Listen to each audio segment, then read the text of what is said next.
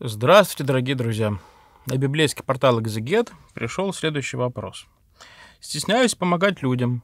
Как быть? Всем ли мы должны помогать? Ну, раз вопрос пришел на портал библейский, то постараемся ответить по Библии. Итак, Евангелие от Луки, 6 глава, говорит, «Всякому просящему тебя давай, и от взявшего твое не требуй назад, и как хотите, чтобы с вами поступали люди, так и вы поступайте с ними». Евангелие от Матфея говорит, «Возлюби ближнего твоего, как самого себя». В том же Евангелии написано, «Блажены милостивые, ибо они помилованы будут». В апостольских посланиях говорится, «Не о себе только каждый заботься, но каждый и о других».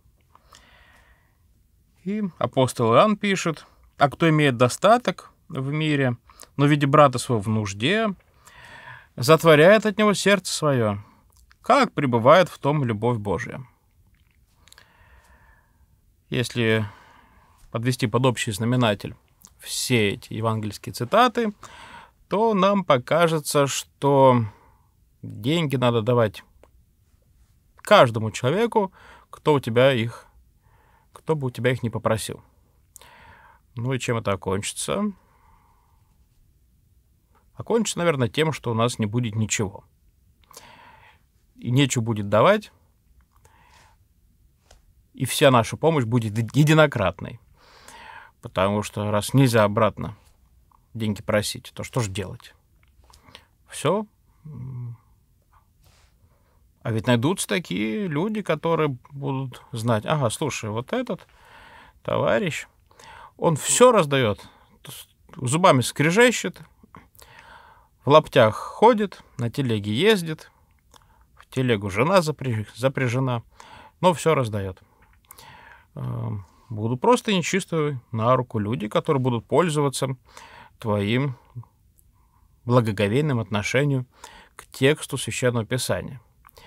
Но опять же, вот мы тут повыдергивали цитат, которые вроде бы подтверждают необходимость раздавать все-все-все. Ну, слушайте, а как же притча рассудительности? Их тоже немало в Священном Писании. Неблагонадежен для Царствия Божьего тот, кто начинает строить дом и не достраивает. Тот, кто идет войной на неприятеля своего и, не рассчитав войско, погибает и проигрывает войну. А еще давайте вспомним равнеапостольский, древнехристианский литературный памятник Дидахе, где говорится о том, что милостыня должна запотеть в руках твоих, пока ты ее кому-то отдашь. Уж насколько здесь ясно и понятно написано о том, что с рассудительностью необходимо давать деньги, не раскидываться ими. А как же еще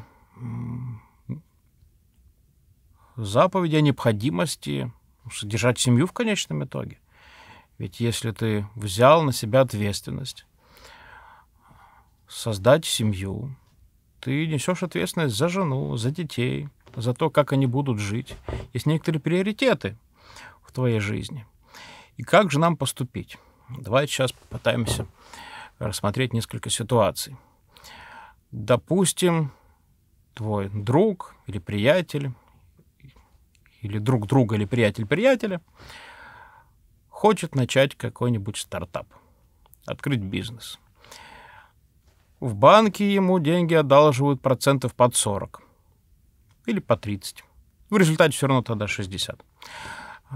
А если походить по друзьям и попросить одолжить там, процентов там, под 10, под 15, под 20, ну, это будет хороший большой гешефт. Вот и ходят и спрашивают, там чуток, там чуток, здесь чуток.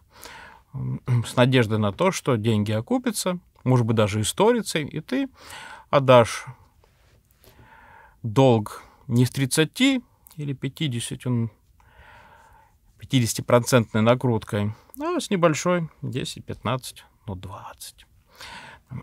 Или вообще просто тело долга. Вот тебе кто-то хороший христианин одолжил беспроцентно. Так вот, такой долг можно давать? Ну, в принципе, можно. А проценты ты имеешь право брать? Ведь нельзя же вроде бы заниматься, э, забирать долг. Вообще нельзя забирать. А еще с процентами так тем более. Ну, в Евангелии о чем говорится? В Евангелии говорится о том, что если нуждающийся человек просит у тебя деньги на еду, на оплату коммунальных услуг, на ремонт автомобиля, без которого он просто не может прожить, там, с тремя детьми или пятью, или даже одним, живя там, за пределами больших городов, а, то вот одолжи деньги беспроцентно, конечно, то есть не наживаясь на чужом горе, на том, что человеку деньги нужны срочно, позарез, прямо сейчас, ну, не знаю, где их взять. Ну, я тебе дам, ну, конечно, да, ну, а дай там еще с 30% накруткой. Вот так нельзя. Вот именно против этого Господь. А если человек твои деньги прокрутит там за этот год, один раз, второй, третий, пятый, десятый, заработает на них немало, а даст тебе там, через несколько лет или через год столько же, сколько одолжил, без учета инфляции, а ведь э, любая валюта, и зарубежная, и отечественная, она падает в цене в течение года. И то, что, если ты сейчас мог купить там, за 500 тысяч ну, какой-то плохенький автомобильчик, то через два года ты в лучшем случае купишь велосипед. Да, тебе вот, держи, вот тебе твое. Поэтому вот как не брать с процентами? Да? Тем более, если человек не нуждался, а просто хотел приумножить свои деньги за твой счет. Вот тут имеешь полное право и с процентами одолжить, и требовать обратно неоднократно. А то спрашивают, вот, я раз напомнил, не отдает, что теперь больше не напоминать. Поэтому ситуации разные, друзья мои, бывают. Конечно, бывают и бизнесмены банкротятся. Он твои деньги вложил в какую-нибудь там криптовалюту, в инвестиции. Оно бабах и минус 60% за один день. Или хоп, и запретил Центробанк хождение криптовалюты на нашем рынке. И ты и не знаешь, где деньги брать. И, конечно, будешь просить, чтобы тебе или простили, или отстрочку сделали. Ну, здесь, конечно, уже придется размахнуть руками, развести руками, сказать, ну ладно, как будет, так уже и отдай. Вот, допустим, такая гипотетическая ситуация. Но если человек, вот, вернемся к вопросу милостыни, милосердия, э, просит деньги под храмом или около монастыря, надо ли каждому давать? Знаете, э, в некоторых монастырях на воротах висят большие заламинированные объявления, в которых написано, что некоторым социальным группам деньги давать нельзя. Э, можете догадаться, каким, ну, а можете не догадываться, просто принять ко вниманию. Есть профессионалы, и в интернете их огромное количество. Это мошенники. Они на вашей доброте, на вашей доверчивости зарабатывают огромные деньги. А, но до сих пор такие профессионалы уровня поменьше и попроще, у которых труба пониже, дым пожиже, все равно околачиваются вокруг храмов, в местах скопления людей, и на этом просто зарабатывают. И надо подумать, стоит ли им давать. Понятное дело, речь идет когда речь идет о милостыне, речь идет о крупных суммах. Потому что когда мы кому-нибудь 10-20 рублей дадим, это даже не милостыня. Ну, это так. так. Ну, на, держи. Если еще там 100 человек тебе по 10 рублей дадут, то уже какая-нибудь сумма будет. Ну, правда, где найти эти 100 человек? Милостыня — это когда ты думаешь, так, я бы мог бы себе что-то хорошее купить, но я отдам погорельцам или на лечение ребенка или взрослого человека, или даже на ремонт автомобиля для монастыря, который находится в глухой глуши и теперь без, без автомобиля, разбившегося в январской аварии, прожить просто не может. Вот. Надо хорошенько раздумывать, поэтому, думать по этому вопросу. Так что Мы должны быть щедрыми, милосердными, добродетельными и, самое главное, рассудительными.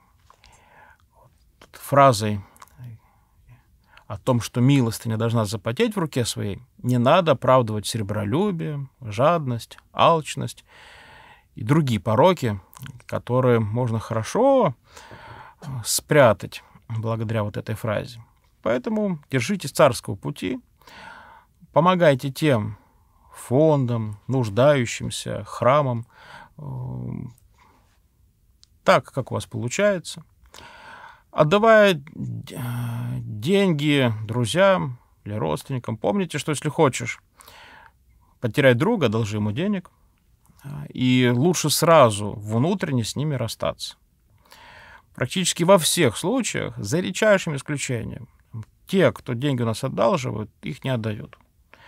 Это совершенно ред, редчайшим случаем. И поэтому лучше сразу с ними распрощаться внутренне. И, как многие Эм, мои прихожане говорили, кто столкнулся с подобным, только тогда ты в ярость не приходишь, когда отдаешь деньги в долг и забываешь про них вот навсегда. И для тебя вот, отдача этих средств прям чудом каким-то является. Ух ты, не ждал, еще и отдал, вот это да. Неожиданно, спасибо. Вот, а если ожидать, что отдаст, то вы там, посидеете за эти годы или месяцы, или дни. Так что, еще раз повторюсь, будьте аккуратны. Не будьте жадными, не будьте алчными, не будьте транжирами, не думайте, что если все сейчас раздадите, то Господь обязательно вам вернет. Ведь вернет, а может не вернет. Если ты специально помогал для того, чтобы увеличить свой доход, то это так не работает. Бога нельзя его же заповедями к стенке прижать и сказать, вот ты обещал, да, что рука дующего не скудеет. Так вот, отдал все, а рука скудевает. Что происходит? Аккуратнее быть, будьте. Не, не пытайтесь манипулировать Богом его же собственными заповедями. Будьте благополучны, будьте состоятельны, течет богатство, не прилепляйте сердца, помогайте от избытков своих всем тем, кто нуждается в вашей помощи. А таких людей очень-очень много. А нету денег, Помоги делом.